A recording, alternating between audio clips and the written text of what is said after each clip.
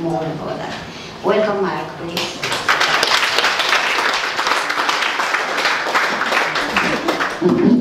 Thanks very much. Firstly, apologies for the dress. You probably think. I've been with Len down the beach this morning. With Len's been down there, um, making me walk on the sand and uh, smoking ceremonies on the beach. Been fantastic. But at least I put shoes on. Len's still has got his um, sandal over his feet wherever he is. Uh, great morning. Can I start by acknowledging the traditional owners of the land, the Whadjuk people of the Noongar Nation, and pay my respects to elders, especially those in the room, uh, past and present. Uh, it's a privilege to be here. It really is.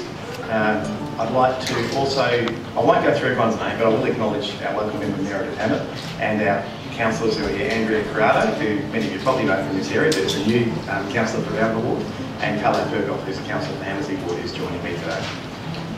When we do things at the City of Stirling, we often talk about the collaboration. When we fund different projects, when we fund different organisations, collaboration is always one of those things we really like to see. And I can honestly say in my time in the City of Stirling, I've never seen a project collaborate as much as this one.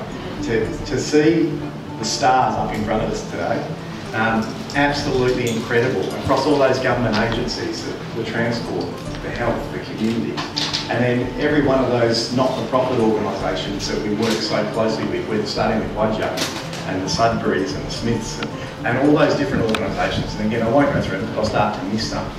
I think that's what this project has been all about.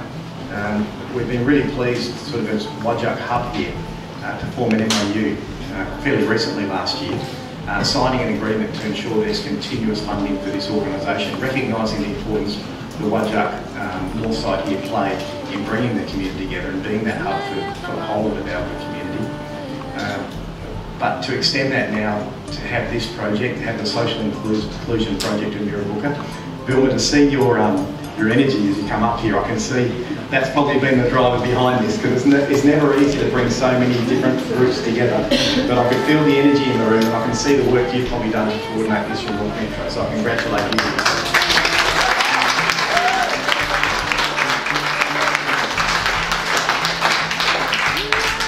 often with these sort of projects we celebrate the end result and it is fantastic to have the walking trail with the stories of our Noongar elders is something that can be shared and again knowledge is everything when we, go along on that reconciliation journey which is so important I know to everyone in this room uh, knowledge is a key to that knowledge and learning along the way but to go from the beautiful Bina Parkland now, which has um, won you know national awards, that journey I think is one of those things that's enduring past past any project. So that's um, that's a credit to all of you who've been involved uh, in that project.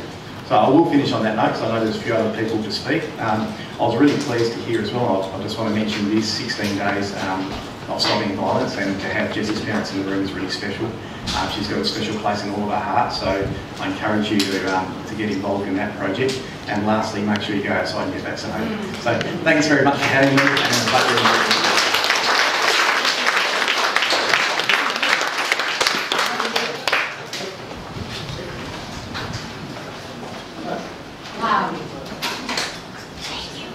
Do you all have your popcorn? No? Okay.